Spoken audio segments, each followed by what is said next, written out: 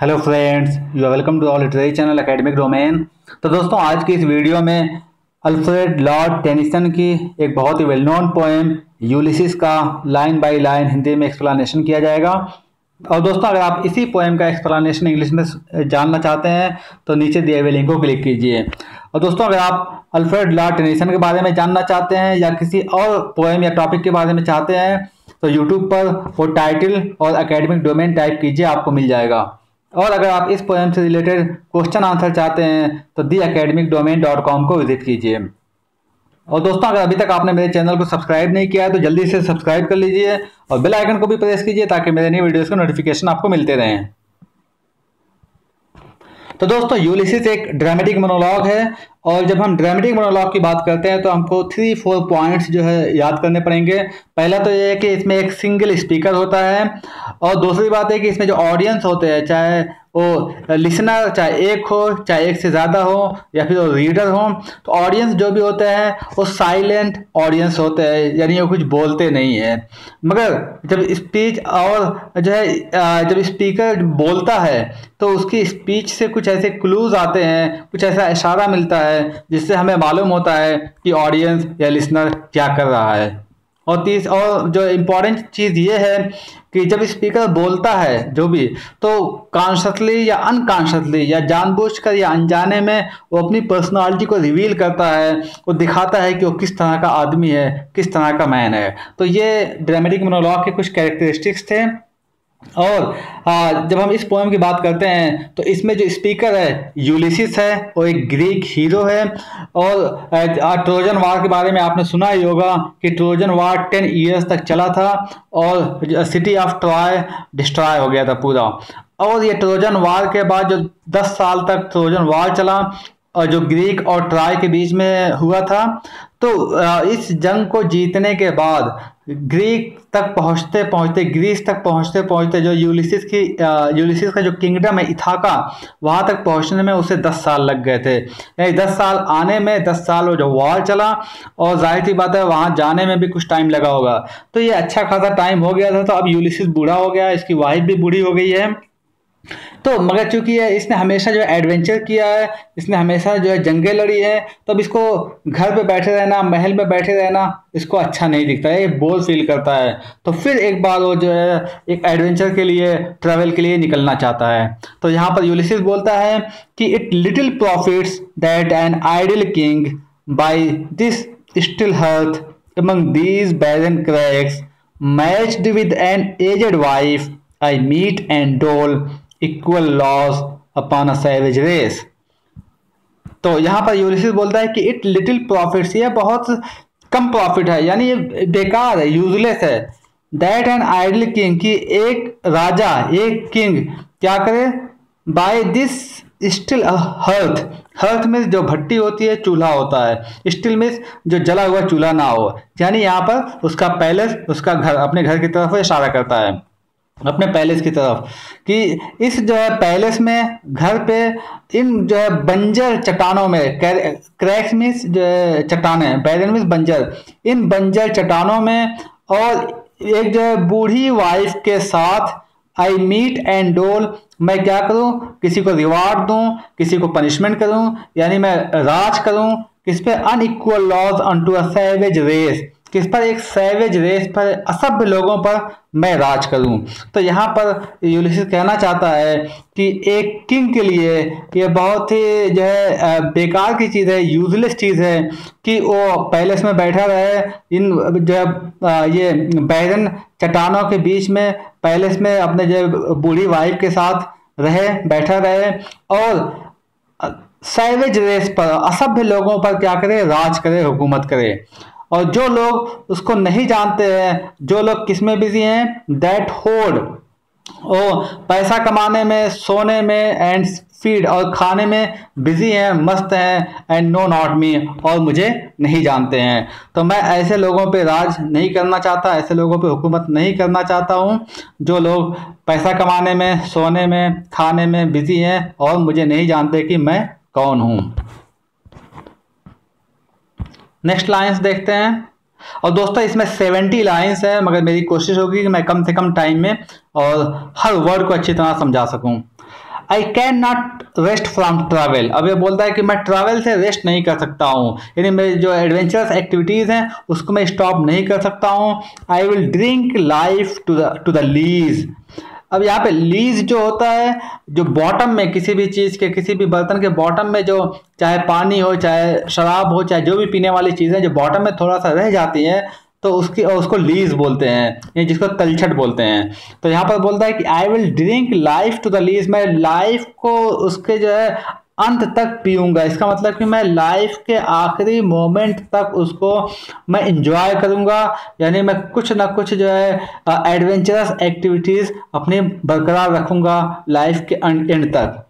All times I have enjoyed greatly हमेशा मैंने greatly बहुत ही ज़्यादा इंजॉय किया है। है सफ़र्ड ग्रेटली और बहुत ज़्यादा मैंने सफ़र भी किया है। झेला भी बहुत ज़्यादा है। इसके साथ विद बहुत with those who that loved me उन लोगों के साथ जिस, जिन्होंने मुझे प्यार किया, यानी अपने साथियों के साथ जो मेरे साथ जंगे किया करते थे एंड अलोन और अकेले भी। ऑन शोर समंदर के किनारे भी।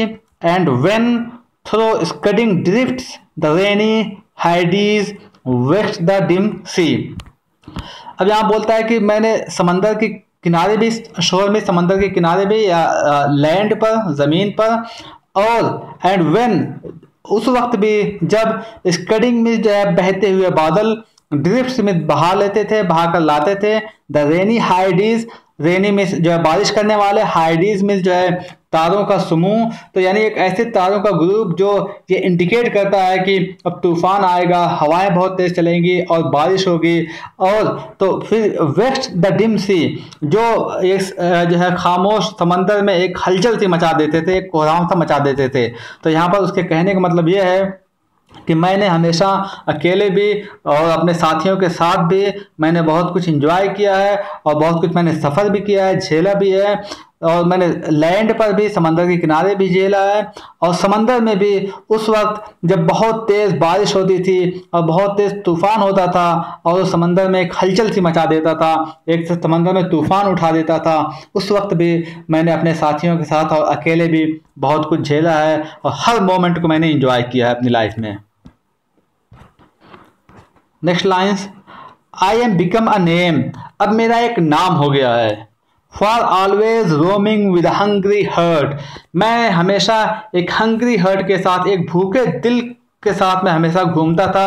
यानी एक भूख के साथ, मेरे जो नॉलेज की एक जो भूख थी एडवेंचर की एक भूख थी, मैं उसके साथ हमेशा जो है, हर जगह घूमता था। Much have I seen and known मैंने बहुत कुछ देखा है और जाना है। Cities of man and manners मैंने शहरों को देखा है, वहाँ के लोगों को देखा है और उनके मैनर्स को देखा है, उनके कल्चर को देखा है, वहाँ के क्लाइमेट्स को देखा है, बहुत सारे शहरों के और वहाँ के शहरों की मीटिंग को भी देखा है, मैंने बहुत सारे गवर्नमेंट्स को भी देखा है। माई सेल्फ नॉट लीस्ट मैं कोई आम आदमी नहीं हूँ but honoured of them all मैं जहाँ जहाँ भी गया, हर जगह मुझे सम्मान मिला, हर जगह मुझे ऑनर किया गया। And drunk delight of battle with my peers far far on the ringing plains of windy Troy अब यहाँ पर यूलिस बोलता है कि मैंने अपने साथियों के साथ विद माई पीयर्स मैंने अपने साथियों के साथ ड्रंक डिलाइट ऑफ़ बैटल मैंने इस बैटल को, जंग को आनंद, जंग को जो है इंजॉय किया है।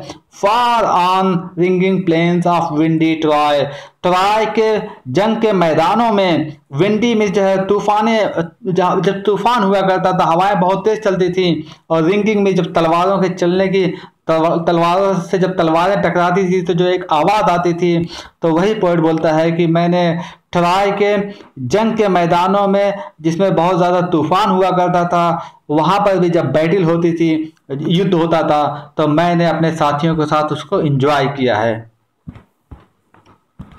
नेक्स्ट लाइंस देखते हैं। I am a part of all that I have made यानी मैंने जो कुछ भी किया है अपनी लाइफ में, वो मेरी लाइफ का, मेरी पर्सनालिटी का एक हिस्सा हो गया है। Yet all experience is an arch wherethrough gleams that untravelled world whose margin fades for ever and for ever when I move so yet all experience is an arch arch में एक जो है मेहराब यानी बहुत बड़ा गेट हम कह सकते हैं। तो यहाँ पर पोइट यहाँ पर स्पीकर बोलता है कि मैंने जो कुछ भी अपने लाइफ में एक्सपीरियंस किया है, मैं उसका एक हिस्सा हो गया, वो मेरी पर्सनालिटी का एक हिस्सा हो गए हैं। इसके बावजूद भी जितने भी मेरे एक्सपीरियंसेस हैं, जितने भी मेरी बैटल्स हैं, जो भी मेरे अचीवमेंट हैं, वो सब मेरे लिए क्या है? एक गेट की तरह है, एक मेहराब की तरह है। एक गेट की तरह है। वहाँ से जब मैं वहाँ पे उस गेट पे खड़ा होता हूँ, यानी वो एक्सपीरियंस वो, जब वो एडवेंचर मैं कर लेता हूँ तो फिर वहाँ से मुझे क्या लगता है? ग्लीम्स दैट अनट्रैवल वर्ल्ड एक मुझे अनट्रैवल्ड वर्ल्ड चमकता हुआ दिखाई देता है।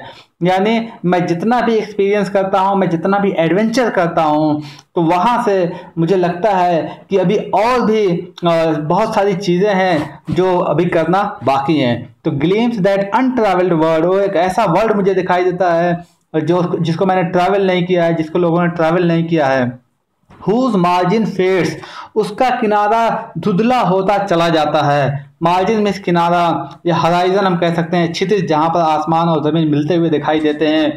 तो हुज मार्जिन फेड्स उसका किनारा धुधला होता हुआ दिखाई चला, दिखाई होता चला जाता है। For ever and for ever when I move और हमेशा धुधला होता चला जाता है जब भी मैं आगे बढ़ता हूँ। इसका मतलब कि मैं चाहे मैं कितना भी एक्सपीरियंस कर लूँ, मैं कितना भी जो है बैटल जंग लड़ लूँ, मैं कितने भी एडवेंचर कर लूँ, मगर हमेशा मुझे ऐसा लगता है कि अभी बहुत सारी चीज़ें हैं जो अभी करना है, अभी बाकी हैं। How dull it is to pause कितना जो है बेमज़ा है टू पास में ठहरे रहना, कुछ नहीं करना। इनएक्टिव रहना कितना जो है बेमज़ा है, कितना डल है। टू मेक एन एंड ये समझ लेना कि बस हमारी लाइफ क्या है, ख़त्म हो गई है, बुढ़ापा आ गया है। टू रस्ट अनफर्निश्ड अनफर अपनी चमक खोकर जो है रस्ट जंग लग जाना, यानी जब किसी चीज़ को यूज़ नहीं किया जाएगा तो उसमें जंग लग जाती है। Not to shine in use यानी यूज़ में आकर नहीं चमकना। यानी हम जब किसी चीज़ को, चाहे कोई टूल्स हो, जो भी अगर उसको यूज़ नहीं किया जाए तो उसमें उसकी चमक खत्म हो जाती है, उसमें जंग लग जाती है रस्ट लग जाता है। तो स्पीकर यहाँ पर वही बोलता है यूलिसिस वही बोलता है। कि मैं सिर्फ़ आ, मैं बैठ कर आराम करके अपने जो है अपनी चमक को नहीं खोना चाहता हूँ। मैं नहीं चाहता हूँ कि मुझमें भी जंग लग जाए। एज दो ब्रीथ वर लाइफ ऐसा लगता है कि बस सांस लेना ही ज़िंदगी है। Life piled on life were too little अगर मुझे ज़िंदगी का ढेर मिल जाए मुझे कई लाइफ मिल जाए कई जिंदगियाँ मिल जाए तो वो भी मेरे लिए टू लिटिल बहुत ही कम पड़ेगी, बहुत ही छोटी होगी। And one to me little remains और जो मुझे एक लाइफ मिली है, ये लिटिल रिमेन्स बहुत ही थोड़ा बची हुई है। But every hour is saved from that eternal silence eternal silence death के लिए यूज़ किया गया है। बोलता है कि मगर मौत से पहले डेथ से पहले हर मोमेंट को, हर घंटे को मैं इंजॉय करना चाहता हूँ। हर मोमेंट को मैं सही से यूज़ करना चाहता हूँ। कुछ नया सीखना चाहता हूँ। Something more a bringer of new things फिर बोलता है कि समथिंग मोर अभी भी बहुत सारी चीज़ें हैं जो सीखना है। A bringer of new things बहुत सारी नई चीज़ें हैं जिनको अभी भी सीखना है। बहुत सारे नए वर्ल्ड हैं जहाँ पे अभी ट्रैवल करना है। एंड वाइल इट वेयर ये बहुत ही तुच्छ बात होगी। वाइल मीन्स बहुत तुच्छ होना, बहुत ही पेटी यानी बहुत ही जो है घटिया चीज़ होना। वाइल इट वेयर ये मेरे लिए बहुत ही घटिया चीज़ है। फॉर सम थ्री सन्स जो मेरी लाइफ में जो तीन साल बचे हुए थ्री सन्स का मतलब कि तीन साल। यानी जो मेरी लाइफ में कुछ टाइम बचा हुआ है, कुछ तीन चार साल बचे हुए हैं to store and hold myself कि मैं इन बचे हुए सालों में मैं पैसा जमा करूँ और मैं चीज़ों को इकट्ठा करूँ। तो ये मेरे लिए क्या है? बहुत ही वाइल्ड है, बहुत ही छोटी, बहुत ही घटिया चीज़ है। And this grey spirit yearning in desire to follow knowledge like a sinking star and this grey spirit और मेरी जो ये ग्रे स्प्रिट है ग्रे का मतलब कि इसमें बहुत ज़्यादा शाइनिंग नहीं होना। यानी अब जो है यूलिसिस का है बूढ़ा हो गया है। अब उसमें जैसे जवान पहले था, जिसमें, जितना उसमें के अंदर पावर था जो उसके अंदर एक चमक थी, वो अब नहीं बाकी रह गई है। मगर उसके बावजूद भी दिस ग्रे स्पिरिट इस बुढ़ापे में भी यर्निंग इन डिज़ायर उसके अंदर बहुत ही तीव्र इच्छा है, बहुत ग्रेट डिज़ायर है। क्या डिज़ायर है? टू फॉलो नॉलेज कि नई चीज़ को सीखने की, नए नॉलेज को जानने की। किस तरह से? लाइक अ सिंकिंग स्टार डूबते हुए तारे की तरह। डूबता हुआ तारे का मतलब क्या है कि जब कोई स्टार जब डूबता है तो आखिरी मोमेंट तक उसमें चमक बाकी रहती है। तो स्पीकर यहाँ पे यही कहता है यूलिसिस यही कहता है कि मैं मरते हुए, यानी मरते दम तक मैं कुछ ना कुछ नया जानना चाहता हूँ, कुछ ना कुछ नया सीखना चाहता हूँ। Beyond the utmost bound of human thought और मैं ऐसी चीज़ों को सीखना चाहता हूँ, जो कॉमन लोगों के विचार से, उनके थाट से, उनकी सोच से बहुत ही प्रे हो। नेक्स्ट लाइन देखते हैं। ना दिस इज़ माई सन अब वो बोलता है कि ये मेरा बेटा है। My own mine own Telemachus मेरा अपना टेलीमेकर्स है, मेरा अपना बेटा है। To whom I leave the sceptre and the isle sceptre means यहाँ पे राजाधिकार, हम कह सकते हैं, या राज को हम सीधा कह सकते हैं। तो उसको, मैं इस राज को और इस आइलैंड को मैं उसके हवाले करता हूँ। मैं उसके लिए छोड़ता हूँ, उसके हवाले करता हूँ। वेल लव्ड ऑफ़ मी जिसको मैंने बहुत प्यार किया, जो मेरे लिए बहुत ही प्यारा है।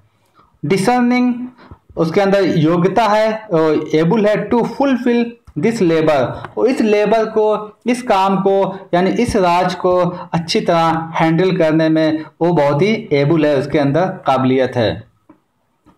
बाई स्लो प्रूडेंस बहुत ही अप, अपनी अक्लमंदी के साथ प्रूडेंस में विजडम के साथ अक्लमंदी के साथ समझ के साथ टू मेक माइल्ड वो माइल्ड बना देगा सॉफ्ट बना देगा अच्छा बना देगा सभ्य बना देगा किसको? The rugged people rugged people को असभ्य लोगों को। And through soft degrees subdue them to you to the useful and the good and through soft degrees और धीरे धीरे सॉफ्टली उनको कंट्रोल करके सब मिथ कंट्रोल करना, उनको कंट्रोल करके जो मेरी आवाम है, उस, उनको यूज़फुल और अच्छा बना देगा, ताकि अपने कंट्री के लिए, अपने लिए कुछ अच्छा कर सकें। Next lines most blameless is he वो बहुत ही ब्लेमलेस है। उसमें कोई भी ब्लेम कोई भी उसमें दोष नहीं है, कोई भी कमी नहीं है। Centred in the sphere of common duties जो कॉमन ड्यूटीज़ को बहुत ही अच्छी तरह जानता है, बहुत ही अच्छी तरह समझता है। Decent not to fail in office of tenderness जो टेंडरनेस यहाँ पे उसकी माँ के लिए यूज़ हो सकता है कि जो अपनी माँ का भी, अपनी माँ के भी बहुत ही अच्छी तरह से ख्याल रख लेगा। यानी और भी जो नीडी लोग हैं, जो बहुत ज़्यादा ज़रूरतमंद लोग हैं, उनको भी अच्छी तरह से बिना फेल के, यानी उनको अभी अच्छी तरह से ख्याल रख लेगा। And pay meet adoration to my household gods और जो मेरे घर के, जो मेरे हाउस होल्ड होल्ड जो गॉड्स हैं, जो देवी देवता हैं, उनका भी क्या करेगा? उनको भी एडोर करेगा, उनको भी वर्शिप करेगा। यानी हमारी जो रीति रिवाज है, उनको भी बनाए रखेगा।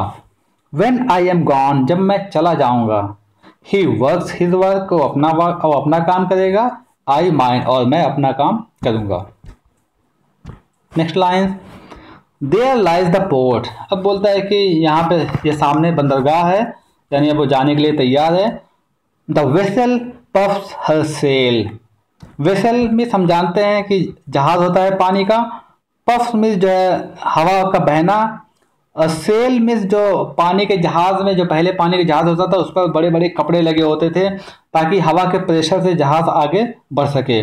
तो यहाँ पर स्पीकर वही बोलता है कि जहाज़ में लगे हुए कपड़े में क्या है? पूरी हवा भरी हुई है। यानी हवा चल रही है। यानी जहाज़ चलने को रेडी है।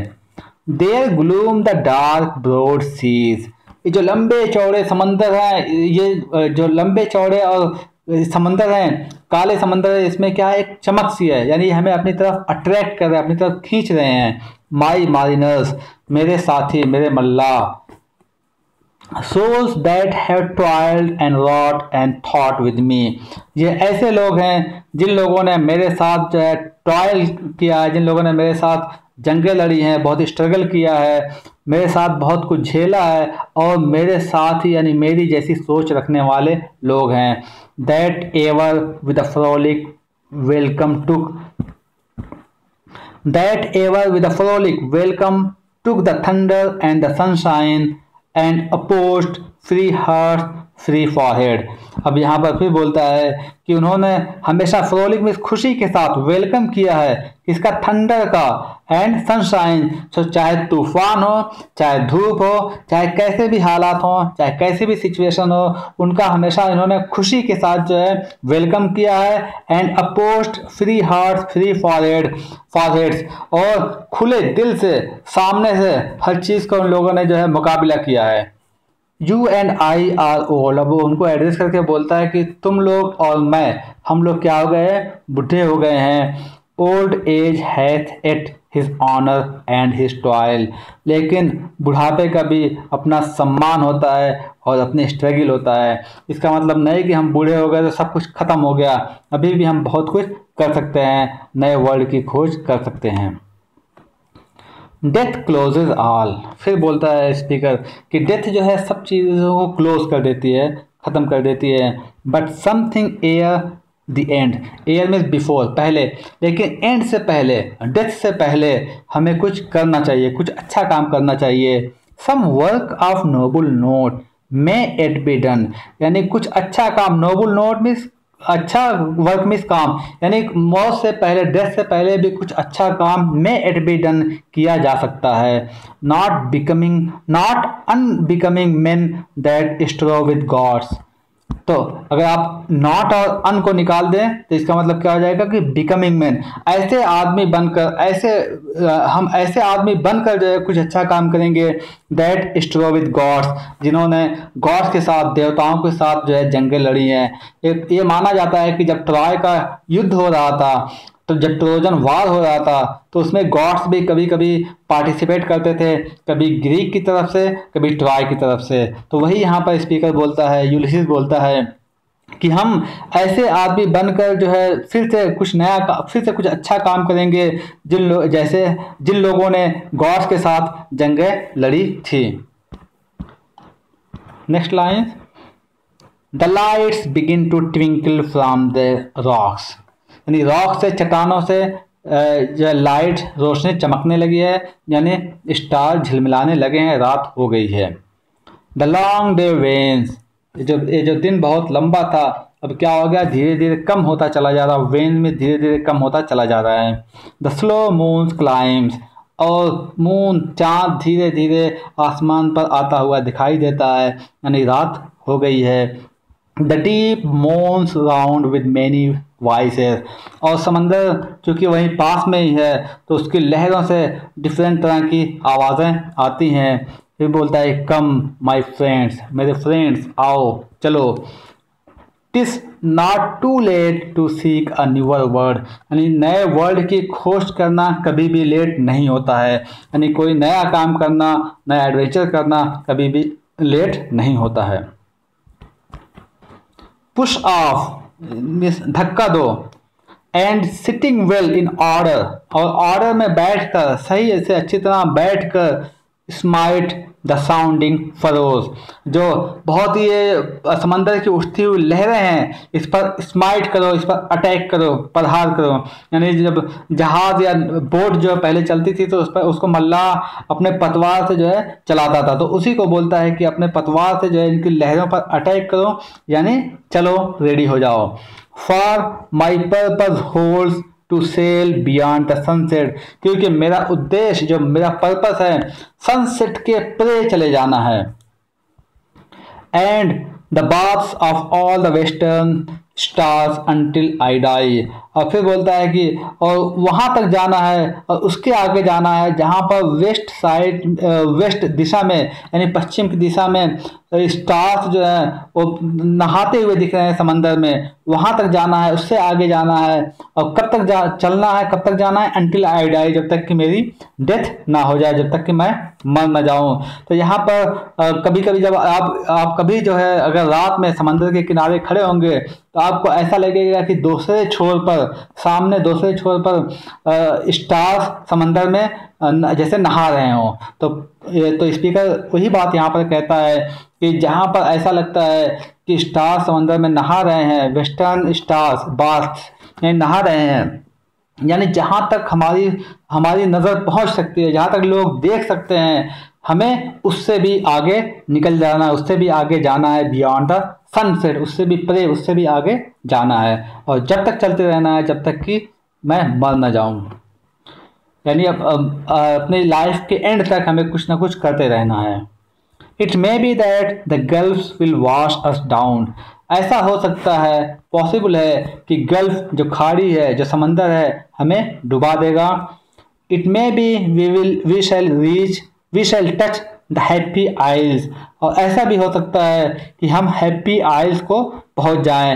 हैप्पी आइल्स एक ऐसा, एक काल्पनिक, एक इमेजिनेटिव आइलैंड है, जहाँ पर यह माना जाता है कि ग्रीक के जो ग्रीस के जो वॉरियर्स हैं, जो बहुत ही, जो जो बहादुर लोग हैं, जो वॉरियर्स हैं डेथ के बाद उसी आइल पे, उसी आइलैंड पे चले जाते हैं। तो यहाँ पर स्पीकर वही बोलता है यूलिसिस वही बोलता है कि ऐसा भी हो सकता है कि गल्फ जो समंदर हमें डुबा दे अपनी लहरों में, या फिर ऐसा भी हो सकता है कि हम हैप्पी आइल्स को पहुँच जाएँ and see the great Achilles और वहाँ पर हम किससे एक्लीज से मिल लेंगे।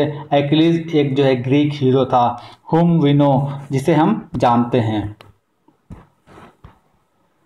Though much is taken much abides अब यहाँ पे यूलिसिस बोलता है कि हमारी लाइफ जो है बहुत ख़त्म, बहुत ज़्यादा हमारी लाइफ ख़त्म हो गई है। यानी मच इज़ टेकन यानी हमारी लाइफ का बहुत ज़्यादा हिस्सा ख़त्म हो गया है। मच अबाइड्स अभी भी बहुत कुछ बाकी है। And though we are not now that strength अभी भी एंड दो, हालाँकि अभी हमारे पास वो स्ट्रेंथ नहीं है, वो पावर नहीं है विच इन ओल्ड डेज़ जो पुराने दिनों में मूड अर्थ एंड हेवन जो पुराने दिनों में ज़मीन और आसमान को हिला दिया करती थी। अभी हालाँकि अभी हमारे पास वो पावर नहीं है। इसके बावजूद भी that which we are we are इसके बावजूद भी जो हम हैं, वो हम हैं। One equal temper of heroic hearts hearts तो हमारा जो हार्ट है, बहुत ही हीरोइक है, बहुत ही बहादुर है, और हम सब का नेचर क्या है? एक है। वन इक्वल टेम्पर टेम्पर में नेचर हम कह सकते हैं, हमारा स्वभाव इक्वल में समान है। हीरोइक में बहादुर हर्ष यानी हम लोग क्या, बहादुर लोग हैं, हमारा नेचर भी एक समान है, एक जैसा है। Made weak by time and fate हमें टाइम ने और फेट ने, यानी समय ने और हमारी जो है, किस्मत ने हमें कमज़ोर बना दिया हमें, हम बूढ़े हो गए हैं बट स्ट्रांग इन विल लेकिन हमारी जो इच्छा शक्ति है, बहुत ही स्ट्रांग है। किस लिए?